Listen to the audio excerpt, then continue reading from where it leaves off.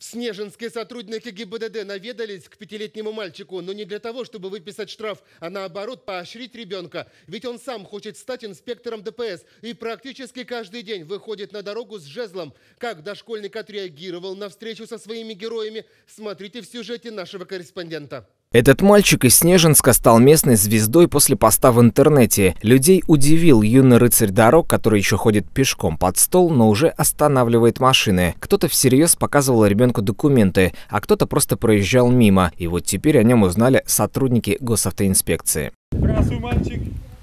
Давай знакомиться.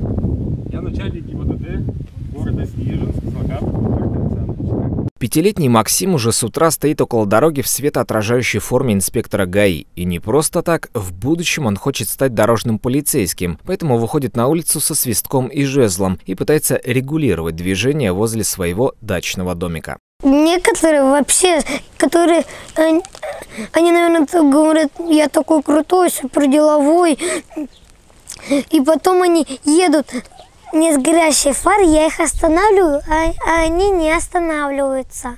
И вот он встретился со своими героями. Сотрудники ГИБДД решили рассказать ребенку о службе. Они дали ему примерить настоящий полицейский шлем и показали бронежилеты. А внутри служебного автомобиля разрешили почувствовать себя настоящим работником госавтоинспекции. За место. Его тоже применяем. Это другой звуковой сигнал. Можешь попробовать его нажать. На связи. Проверка связи. Понял. Родители поддерживают стремление сына. Они даже записали его в кружок юных инспекторов движения. Ребенок никогда не находится один на дороге, то есть постоянно с ребенком находится рядом и папа, и мама. То есть и ребенок, и родители знают, что дорога несет за собой опасность, поэтому все игры проходят только присутствии взрослых людей.